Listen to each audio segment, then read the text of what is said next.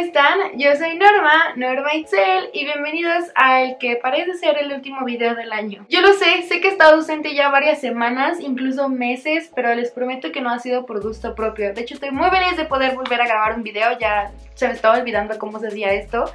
Eh, hoy es 31 de diciembre del 2021 y espero que puedan estar viendo este video hoy mismo. Le voy a echar muchas ganas para que salga editado lo más pronto posible. Si no me siguen en Instagram, les recomiendo que vayan a hacerlo, los voy a dejar aquí, porque creo que ahí no me he perdido tanto, sí les he ido compartiendo como varias cosillas por ahí de mi vida, tanto profesional como académica como personal.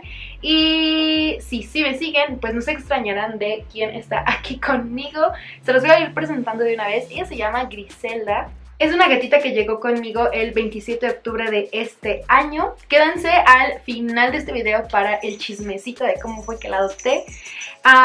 pero gracias a esta experiencia y al año que llevo trabajando en clínica de pequeñas especies es que me ha quedado el 20 de que tener un gato no es cualquier cosa. Un gato no es un perro pequeño, es otro mundo totalmente distinto y creo que antes de aventarnos a querer tener un gato debemos tener en consideración no una, no dos, no tres cosas sobre ellos. Entonces, justo de eso va a tratar el video del día de hoy. Les voy a dar todos los consejos desde la perspectiva como tal de un médico veterinario y también pues como tutora últimamente con ella, ¿no? Veamos las cuestiones básicas. A lo mejor si ustedes ya tienen gatos, puedan saltarse toda esta primera parte que es como la personalidad de los gatos, las necesidades de los gatos. Pero si nunca han tenido un gato, tal vez estas cosillas no las sepan y digan, wow. Primero, los gatos tienen un desplazamiento tanto horizontal como vertical.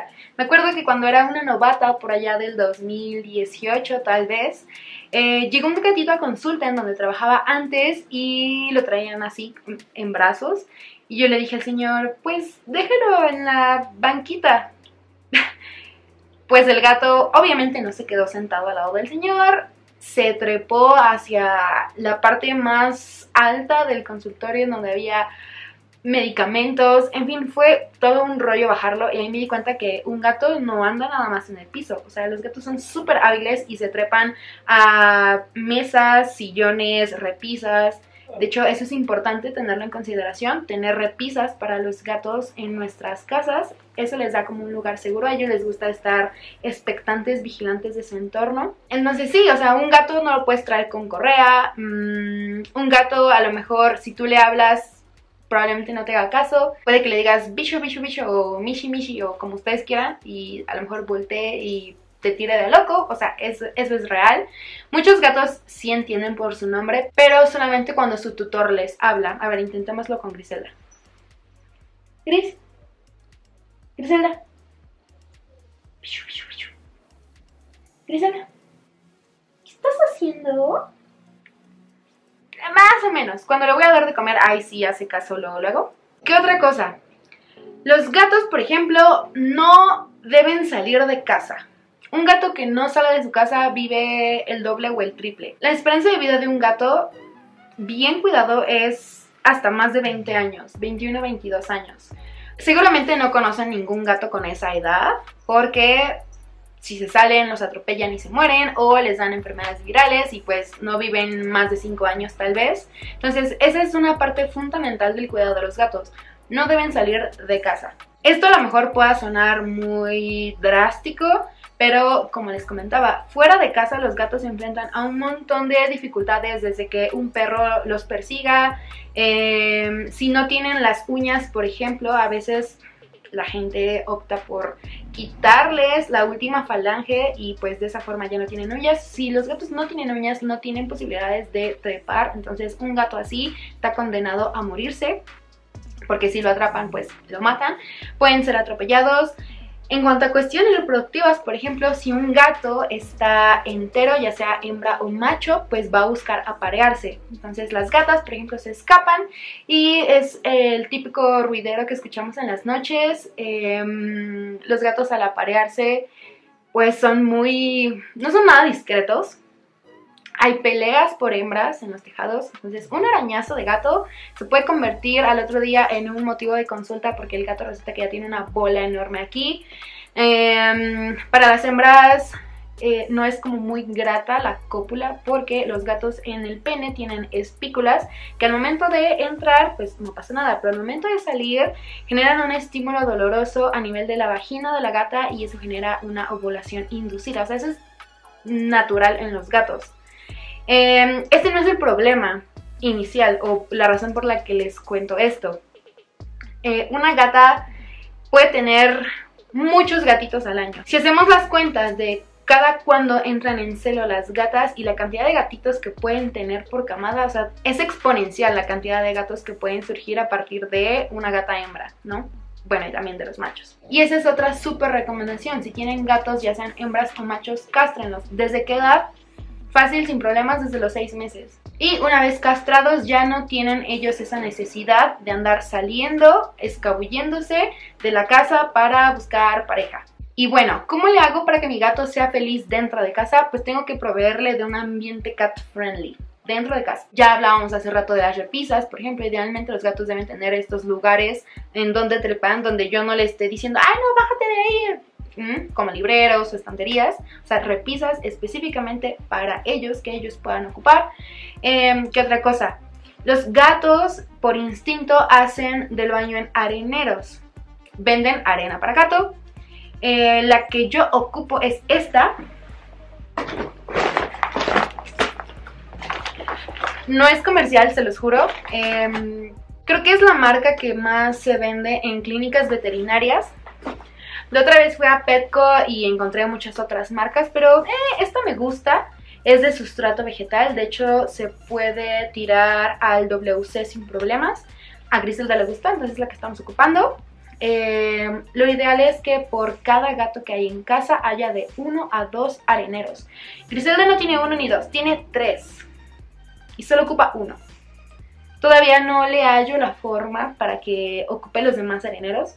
Es toda una ciencia eso, de hecho. O sea, un arenero debe tener ciertas características. Por ejemplo, si un gato como del tamaño de Griselda entra, debe tener cierto margen alrededor. O sea, no le debe quedar muy chico. El tipo de arena también es importante. No a todos los gatos les gustan todas las arenas, tienen sus sustratos favoritos.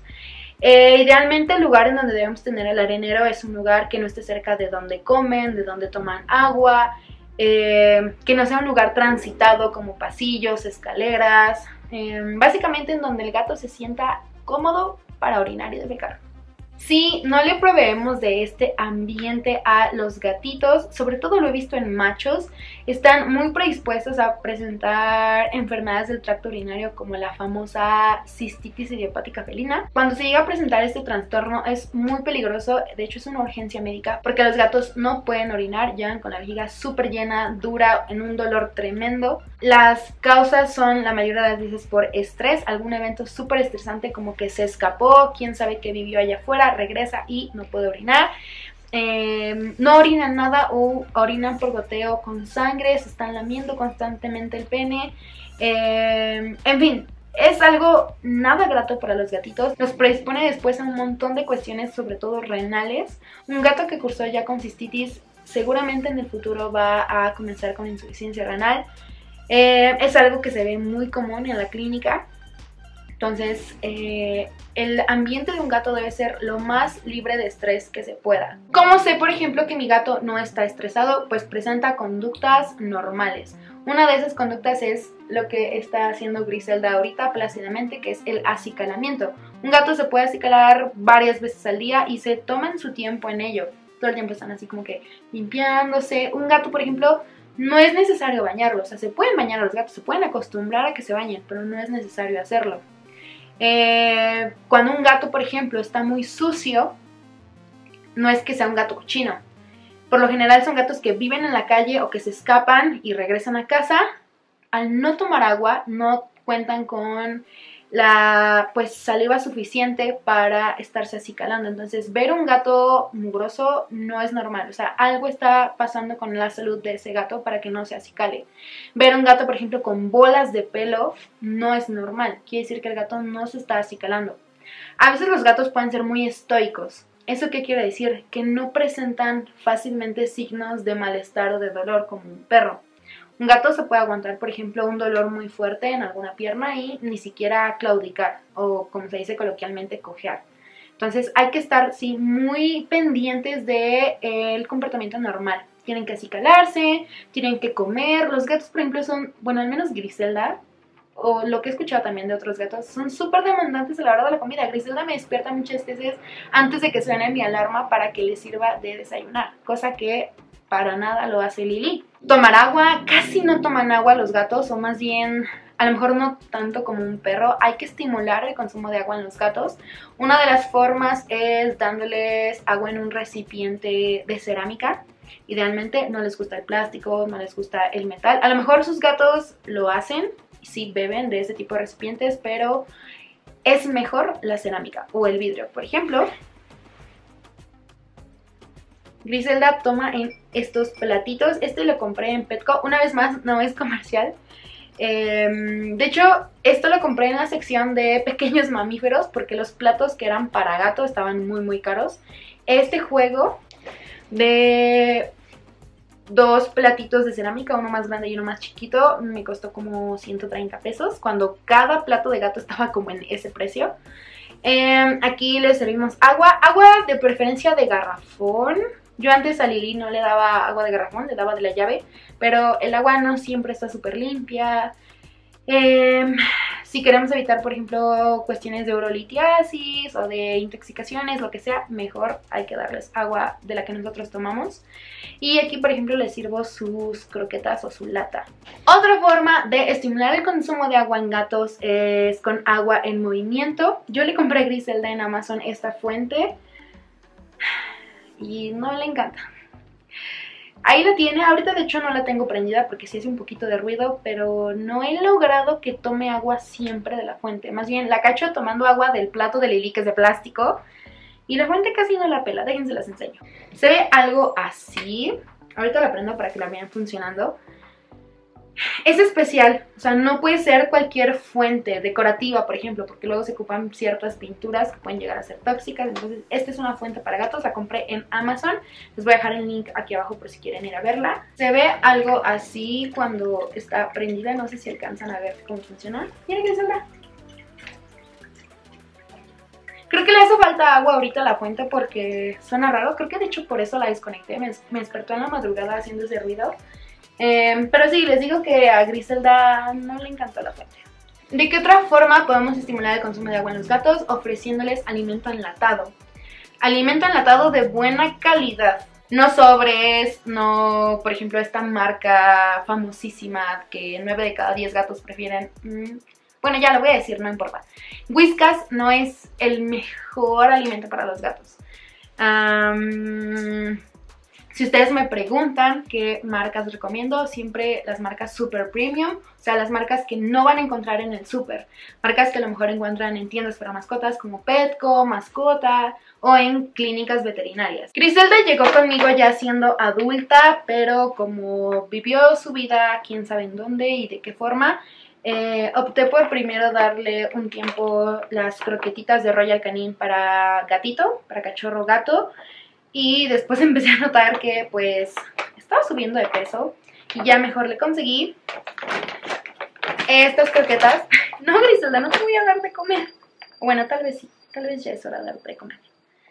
Después le conseguí estas que son para control de peso. Entonces, una vez más, esto no es un comercial, pero Royal Canin es muy buena marca. Em, ¿Qué otras marcas podemos dar? Hills, Beerback, Proplan. Mmm, creo que incluso Nupec tiene para gato.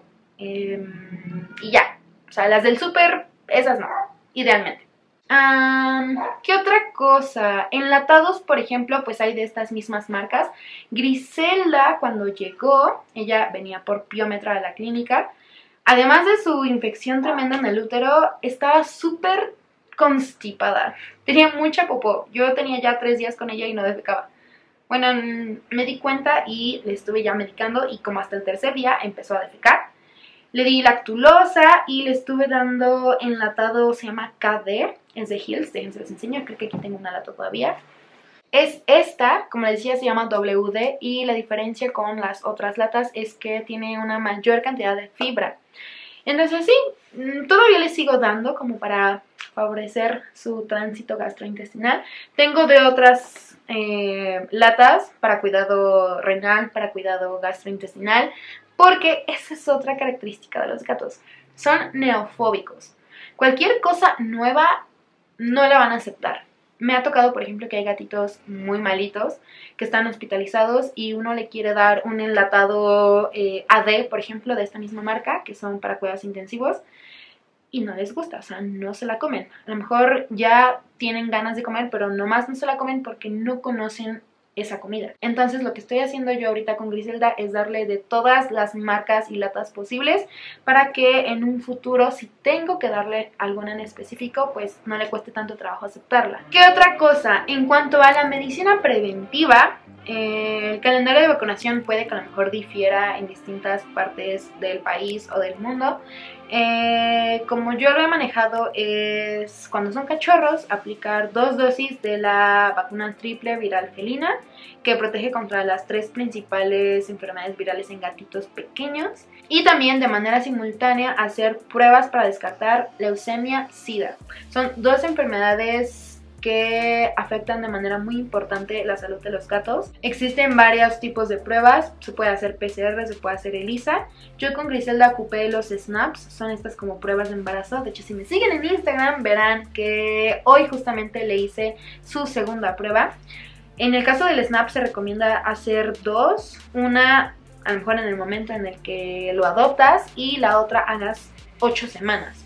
Porque suponiendo que, por ejemplo, el gato se acaba de infectar, no te va a dar positivo en la primera prueba, pero si la repites a las 8 semanas, ahí sí te podría dar positivo si es que está infectado. Griselda ya dio negativo dos veces, entonces yo creo que en unos 15 días le va a aplicar su vacuna contra leucemia.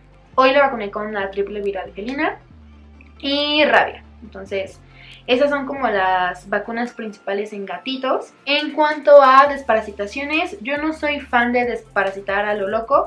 Primero me gusta ver si tienen parásitos o no. Eso como se hace con un examen coproparasitoscópico en donde analizas las heces y mediante técnicas de concentración como flotación o Faust puedes ver si hay huevecillos de parásitos. Es muy evidente y ese es el motivo de consulta muchas veces cuando están defecando con gusanos pero no siempre que un animal está parasitado va a defecar gusanos. Eso es cuando de plano ya hay muchísimos y se van muriendo y los van expulsando. Entonces, si recién adoptan ya sea perro o gato, yo les recomiendo que le hagan un tipo de un examen de este tipo para descartar que tengan parásitos. Lo que sí es súper importante es el control contra pulgas y garrapatas. A lo mejor Griselda ahorita no está muy expuesta a eso, pero Lili, por ejemplo, sí sale a la calle. Entonces, ella podría, en teoría, compartirle pulgas a Griselda. Algo muy práctico que existe para gatos es esta pipeta spot on que se pone en esta parte de atrás de la nuca porque ahí no se alcanzan a lamer se llama Broadline, una vez más no es comercial pero eh, es un desparasitante interno y externo o sea si tiene gusanos intestinales los elimina y previene que se suban pulgas. Yo a Griselda aún no se lo he puesto, creo que por las mismas razones. Lily sí tiene su protección contra pulga y garrapata. Em, con ella lo he estado procrastinando un poco, pero sí se lo voy a poner. Eh, ¿Qué otra cosa? Si ustedes tienen gatitos y los vacunan, asegúrense de que no les pongan las vacunas de manera subcutánea en el dorso, porque existe algo que se llama sarcoma postvacunal en los gatos. O sea, les salen tumores muchas veces en los sitios de aplicación, no solo de vacunas, sino también de inyecciones en general. Entonces, la forma ya universal de poner vacunas es en la pata derecha va rabia en la pata izquierda va leucemia y en cualquiera de las anteriores puedes poner em, la triple felina, por ejemplo. Así que si llevan a sus gatitos el veterinario que los vacunen, asegúrense de que no lo hagan en esta parte del dorso, porque si les sale un tumor, es mucho más fácil amputar una extremidad a quitar aquí arriba. O sea, es mucho mejor pronóstico cuando las cuestiones salen pues en extremidades. ¿Qué otra cosa? El enriquecimiento ambiental es fundamental con los gatos. ¿A qué le llamamos enriquecimiento ambiental? Toda esta cuestión que tiene que ver con el juego. Eh, un gato idealmente debe tener rascadores por la casa. Hay de diferentes tipos. Yo no le he encontrado a Griselda el que a ella le gusta. Le compré en Petco este de cartoncito. Déjense los enseño. Es este. Yo creo que está bonito. ¿No te gusta, Gris? No lo he ocupado ni una sola vez. Em, también le encargué a mi hermano que comprara algún otro diferente. Creo que este no está tan mal, pero le quedó muy chiquito. Me lo enseñaron en fotos y dije, sí, sí, sí, ese, pero pues en la foto no se dimensionaba el tamaño. Es algo así, o sea, está muy, muy pequeño. Sí ha llegado a jugar con él, pero el rascar es algo que deben hacer diario y ella no lo ocupa diario. Le gusta hacerlo en mi cama y en el sillón de mi mamá, pero de ahí obviamente la quitan, entonces sí tengo que encontrar la forma de que pues ocupe sus rascadores. ¿Qué otra cosa? El catnip. El catnip es la hierba gatera, creo que sí se le dice así. Es este como oreganito. Yo tengo de esta marca. Mm, la compré en el mercado para peces de Michuca, aquí en la Ciudad de México. Se ve como orégano, les digo. Esto lo que hace es... No sé, muchos dicen que es como la marihuana de los gatos, pero no es una droga. Simplemente les gusta mucho el olor. A ver si ahorita logro grabar a Griselda con tantito catnip. Em, los extasía demasiado, les gusta mucho, se revuelven en ella, pueden comerla incluso. Lo ideal es eh, ocupar catnip con los gatitos una o dos veces por semana, como para estimularlos. Em, tener juguetes para gato, el de Griselda también lo compré Petco. Y es este de aquí, es como una cañita para pescar, tiene plumita aquí en el fondo y se escucha. Los gatos por naturaleza tienden a cazar cosas con plumas, entonces pues este le gusta mucho y a pesar de que lo muerde y lo rasguña, pues las plumas no se le caen. O sea, es un juguete para gatos, eso sí es importante. No jueguen con cualquier cosa. A veces los gatos, hasta en los libros infantiles, vemos que los gatos juegan con um, bolitas de alambre, alambre, de estambre.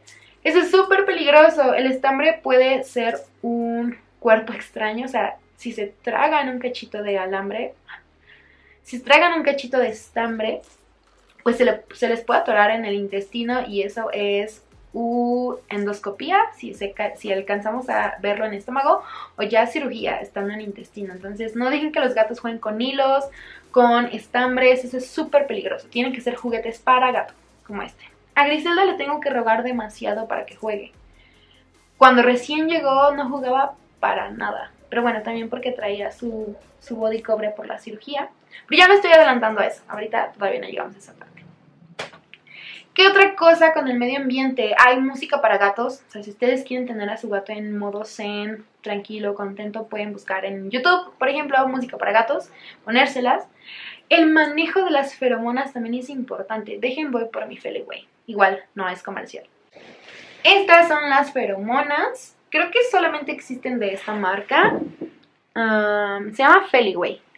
Los gatos, de manera natural, emiten estas feromonas que son señales químicas a nivel de su carita y pues es normal, cuando un gato está contento, está a gusto, lo que hace es rodar su cara ya sea con superficies. Griselda lo hacía conmigo desde el día 1 que la conocí.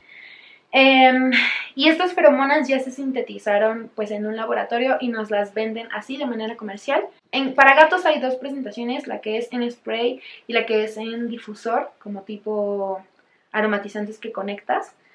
Yo quise comprar este porque de esta forma puedes como tú decidir en dónde lo quieres ocupar. Hoy que llevé a Griselda a la clínica lo puse en su transportadora que Ahorita les cuento esa, historia. En Instagram ya más o menos hablé del tema, pero bueno, lo puse en su transportadora, en la cobijita con la que la recubrí. Em, en gatos, por ejemplo, con la cistitis idiopática o con estreñimiento como tal, puedes ponerlo en la arena. Em, ¿En donde más? En el auto, si los vas a sacar, pones. En el manejo de gatitos, cuando lo estamos revisando, yo me pongo, por ejemplo, en las manos o en la cobija con la que vamos a sujetar, en fin. Estas feromonas ayudan para que el gato no esté tan estresado. Forman parte del manejo cat friendly. No son nada baratas. Este yo lo compré pues por esas fechas, por ahí del 27 de octubre y ya va a menos de la mitad. Yo siento que no lo he ocupado demasiado, pero tal vez sí. Salí de viaje hace como dos meses, no, hace como un mes y sí le puse Feliway en todos lados. Tal vez fue eso. Espero que no se me esté olvidando nada sobre el manejo muy en general de los gatitos. Si se me olvida algo, se los voy a escribir en la descripción del video. Em, pero vamos hacia el chismecito sobre cómo fue que llegó Griselda conmigo. Miren, les presento oficialmente a Griselda. Es esta gatita guapa de aquí. Es la más linda. Eh, fue una de las razones por las que me decidí quedar con ella, porque es muy muy linda a diferencia de la mayoría de los gatos adultos que llegan, por ejemplo, en las condiciones en las que llegó Griselda. Ella es súper buena onda, permite mucho el manejo. Mi familia la adora. Mi familia, déjenme decirles que eran antigatos 100%, porque nunca habían tenido un gato en su vida. Mi mamá, mi papá eh, era como de, no, aquí no entran gatos, en esta casa están prohibidos los gatos, son traicioneros, son interesados, todos los adjetivos negativos que se les puedan ocurrir. Y no sé, creo que muchas personas tienen esa idea ya preconcebida de los gatos, pero creo que es verdad que alguien que no ha tenido un gato no puede decir que no le gustan los gatos. A mí nunca me causaron ningún sentimiento negativo, al contrario, veía gatos en la calle y era como de, ay, pero pues por lo general un gato en la calle no es muy accesible que digamos. Algunos sí, pero la mayoría no. Em, de hecho, la otra vez estaba leyendo mi descripción del canal de YouTube y decía, soy Itzel, me gusta no sé qué, chalala, y me gustaría tener un gato. Entonces es bonito volver atrás y decir, wow, ya tengo un gato. Entonces, como les decía, perdón, me disocié. Como les decía, yo no estaba negada a los gatos, más bien en mi casa pues no les gustaban y pues no me dejaban tener gato. ¿Cómo fue que Griselda llegó? Pues era una noche de octubre lluviosa y ella llegó porque tenía el abdomen muy grande. De hecho, las personas que la llevaron creían que estaba gestante, o sea, que iba a tener gatitos. Pero ya llevaban dos semanas con ella, la habían recogido de la calle y pues nomás no paría y la panza estaba enorme. Entonces, ah, pero ella contenta, ¿no? Comía, bebía, todo normal. La llevan a la clínica y le tomamos, yo, cabe señalar, yo no estuve en esa consulta. Yo la conocí ya hasta que estaba abajo después de que le tomaban rayos X. Le tomamos una radiografía de abdomen y, oh sorpresa, no hay gatitos. El útero está ocupado, pero no son gatitos. La piometra es una infección del útero súper común en perras enteras. Em, creo que ya les he hablado mucho de eso en Instagram, les he contado incluso de casos. Pero en gatas es una condición poco común. Entonces dijimos, wow. Em, al explicarles a los tutores en ese momento lo que se tenía que hacer, evidentemente una cirugía, dijeron, uh, pues creo que no se va a poder dijeron, bueno, se va a morir si no la operamos. Es muy probable. O sea, esta cuestión en 3, 2, 1, o sea, se revienta, peritonitis, bla, bla, bla, o sea, no. Pues se va a tener que quedar así.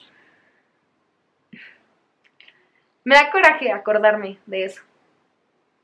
Todos en la clínica estábamos así de, no es posible, no puedo creer que esté escuchando esto. No esperaba nada de la humanidad y aún así logra decepcionarme.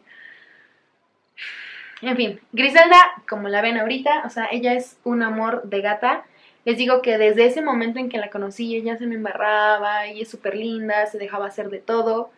Yo dije, no es cierto, no es posible, no puedo creer que alguien sea así.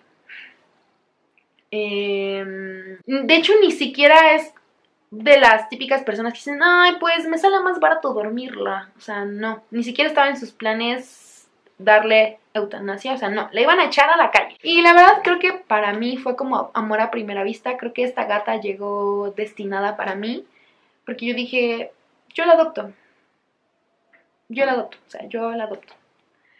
Y, por ejemplo, Sara, mi amiga, doctora ahí en la clínica, me dijo, ¿estás segura? O sea, ¿qué te van a decir tus papás? Y yo así de, yo la adopto. Entonces, em, nos firmaron una responsiva casi casi de que nos cedían los derechos, de que no la iban a reclamar después. Ese día, la verdad es que como estaba tan estable, solamente se le puso solo subcutáneo y se quedó en una jaulita en el hospital, o sea, sin estar canalizada ni nada. Al otro día, miércoles, eh, llegamos temprano, le tomamos muestras de sangre. En la química sanguínea, si no me recuerdo, todo estaba súper bien, pero en su hemograma tenía una leucocitosis como de 72, no les miento.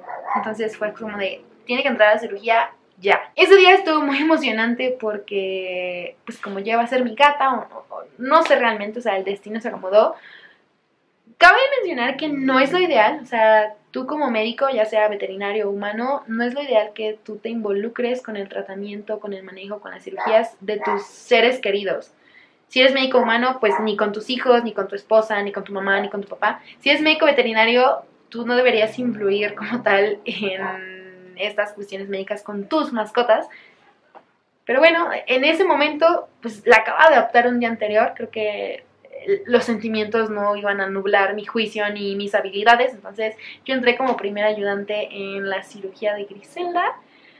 Estuvo padre. Mm, yo había visto cirugías de piometra, claro, son muy comunes, pero yo estar así en el campo de acción de una cirugía por piometra, jamás. Entonces estuvo muy, muy padre. Em, ese mismo día me la traje a mi casa, incluso le compré su body cobre, por si no los conocen son estas como fajitas especiales para la recuperación y eh, la óptima cicatrización de las heridas, porque en la tela hay hilos de cobre que son repelentes al polvo, al agua, antibacteriales, bla bla bla, un montón de características que hacen súper ideal el proceso de cicatrización. No son baratos, pero creo yo que valen la pena y sobre todo con gatos. Em, están súper curiosos. El mío, déjenlo busco. Es que no lo he lavado. Pero les voy a poner aquí fotitos de cómo se veía Griselda con su fajita. Bueno, no lo encontré, pero se veía algo así. y pues ya trajo la fajita yo creo que fácil unas tres semanas.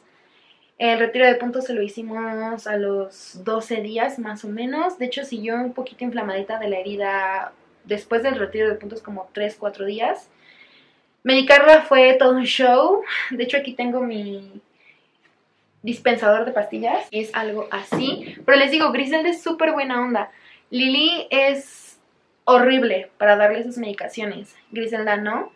Eh, aquí ponía su omeprazol en ayuno. El meloxicam, también le estoy dando gabapentina. Y con esto.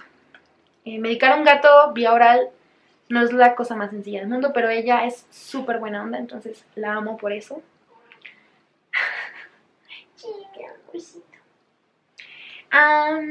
¿Qué otra cosa? Pues ya, no les he contado lo más interesante. ¿Cómo fue que mis papás me dejaron tenerlo? Bueno, el día de la cirugía yo ya la traía con su con su fajita. Ese día pagué una cuenta altísima en la clínica porque le compré su arena para gato, le compré su bolsa de croquetas, compré el Feliway, los medicamentos, en fin. Eh, mi mamá me dijo, ¿qué traes ahí? Me prestaron una transportadora en la clínica.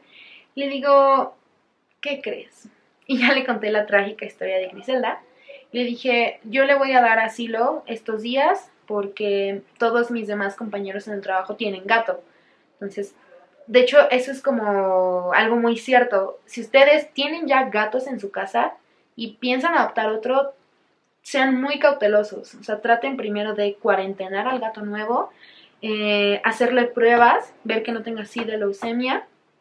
Eh, y ya una vez que no tenga, vean que no tenga ninguna enfermedad, ocupen feromonas, pero eh, este es el Feliway Classic, hay uno que se llama Feliway Friends, que es justo para la introducción de nuevos gatitos y que se conozcan y todo sea más armonioso.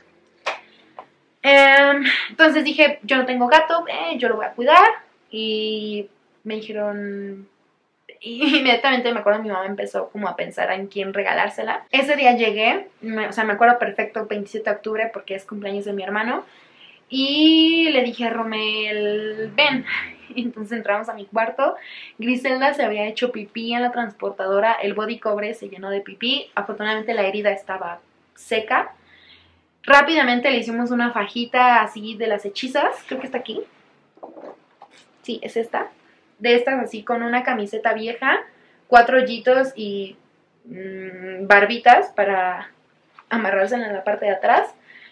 Eh, ya le conté a mi papá la misma historia. Salimos rápido a partir del pastel de mi hermano y Griselda ya estaba de pronto aquí en mi casa.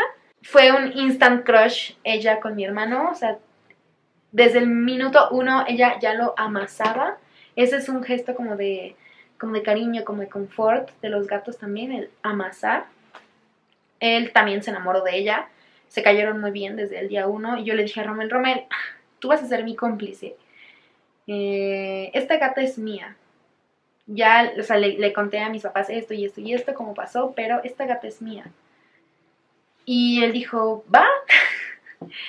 entonces, les digo que creo que fueron dos días para que tanto mi mamá como mi papá adoraran a Griselda. O sea, es que de verdad tiene un carácter súper bonito.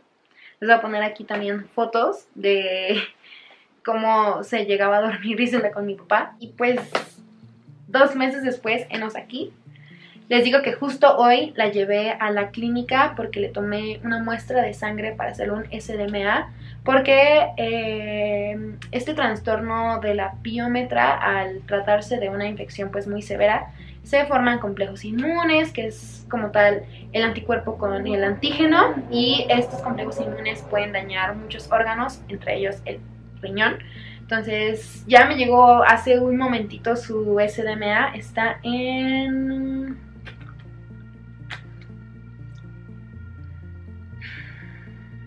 Mm, 10.3 microgramos por decilitro. Lo normal es menor a 14. Entonces está súper bien de sus riñones. Eh, es me da mucho gusto.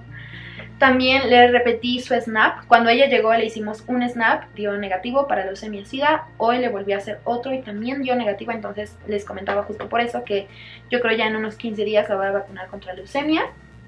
Y pues ya, esa es toda la historia con Griselda. A lo mejor ya la super conocen porque en Instagram aparece mucho Griselda, em, más que Lily, más que Pumpkin. No es que sea mi favorita, bueno, tal vez, tal vez sí es mi favorita. Es que Lily, quiero mucho a Lily, pero Lily a veces puede ser difícil. Y Pumpkin, pues, pues es Pumpkin, ¿verdad?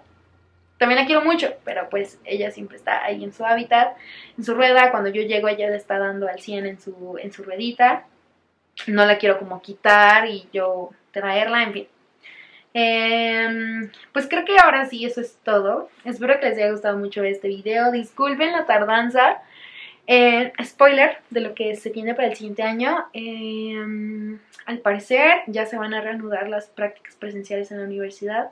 Entonces, a inicios de febrero voy a iniciar con décimo semestre. A lo mejor muchos estén confundidos porque yo ya estoy subiendo historias y fotos sobre mi fiesta de graduación. Mi fiesta de graduación fue el 4 de diciembre.